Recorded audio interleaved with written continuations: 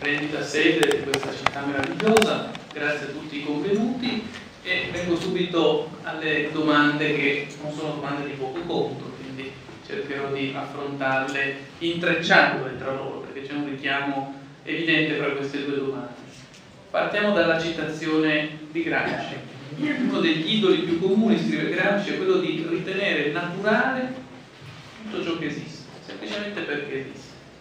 In effetti, quaderni del carcere di Gramsci sono un grandioso tentativo di mettere sotto accusa questa affermazione, che è condivisa spesso dall'uomo comune, ma che molto più spesso propalata anche da visioni filosofiche o pseudofilosofiche. Noi siamo avvezzi a pensare che la realtà così com'è sia data, sia qualcosa che sta di fronte a noi e al quale dobbiamo in certa misura adattarci semplicemente perché Gramsci, e noi con lui, dobbiamo smascherare questo modo comune di pensare. La realtà non è mai un'oggettività data che chiede di essere accertata e accettata.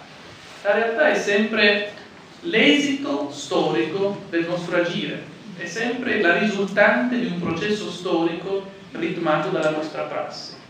La realtà oggettiva, istituzioni, leggi, economia e quant'altro, non esiste alla stregua della semplice natura, come spesso pensiamo. Al contrario, esiste nella forma di prodotti sociali e storici scaturenti dalla nostra prassi.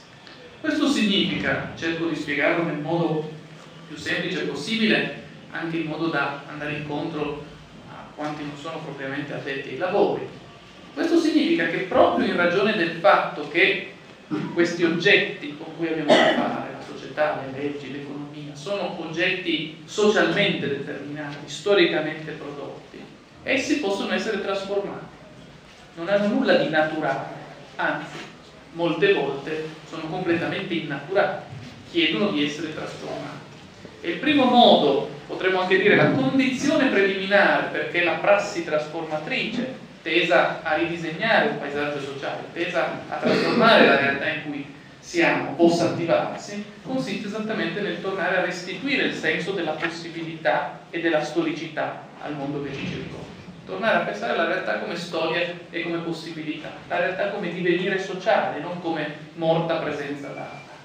Ecco, potremmo dire che questo presupposto deve a maggior ragione oggi essere valorizzato, perché stiamo vivendo, ben più forse che ai tempi di Gramsci, in un'epoca che voglio chiamare di mistica della necessità. Siamo sempre più propensi a ritenere che ciò che esiste sia giusto e naturale semplicemente in ragione del fatto che esiste. Un altro grande pensatore del Novecento, Bertolt Brecht, una sua opera teatrale, così scriveva. E vi preghiamo, non pensate che sia naturale tutto ciò che esiste, semplicemente perché esiste. Non ritenete naturale ciò che accade ogni giorno, Ecco, nella nostra epoca di mistica della necessità occorre riappropriarsi di queste parole, rammemorare il pensiero di questi antichi, questi passati pensatori. A questo proposito voglio ricordare